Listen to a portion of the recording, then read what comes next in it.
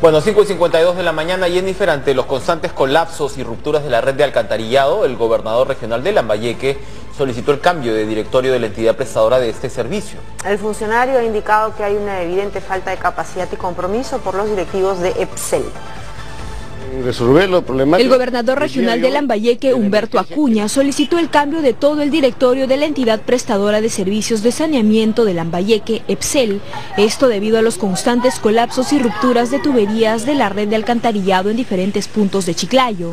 Es lamentable lo que está pasando en Ortiz, es lamentable porque, como tú has dicho, es un tema municipal, pero más que un tema municipal, es responsabilidad de EPSEL. Yo creo que Excel, Excel es, el, Excel es el, siempre un representante, no hace nada contra todos los que están ahí. Yo pienso que aquí Excel es el que es responsable de dar los servicios a la población, porque ellos son los que cobran los servicios.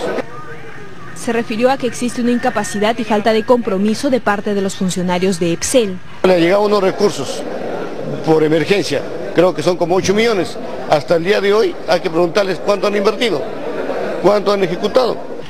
El distrito lambayecano de José Leonardo Ortiz presenta serios problemas por los constantes colapsos de desagüe debido a la ruptura de las redes de alcantarillado, lo que provoca que las aguas servidas se conviertan en grandes focos infecciosos poniendo en riesgo la salud de la población.